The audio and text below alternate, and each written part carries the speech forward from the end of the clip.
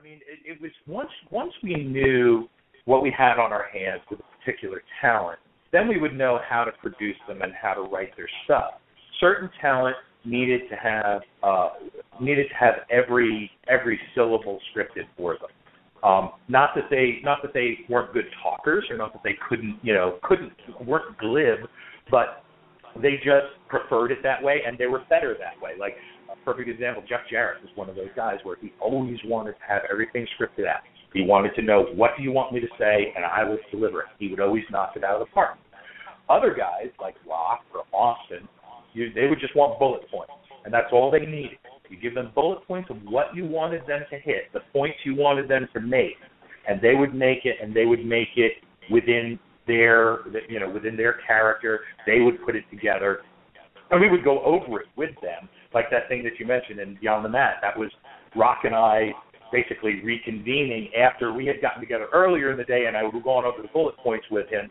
But then we were getting back together because he was he was giving back to me what he had in mind, what he had come up with based on the bullet points that I gave him earlier in the day. So that's what that relationship was like. So once you once you knew who who you know who could who could fly with bullet points and who needed to have everything scripted for them, that made it a lot easier. The worst thing is trying to get bullet points to somebody who needed everything scripted for them, or the flip side, somebody who really didn't need to have everything scripted for them, trying to give them a, a, a thorough script like they do with everybody these days.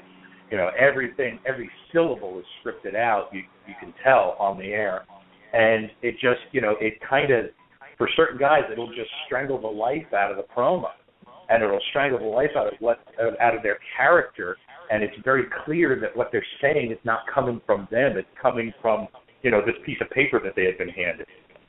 So once you get that, once you figure out who who who needs what, then you're in a good good shape to produce them very effectively um, and get the most out of them.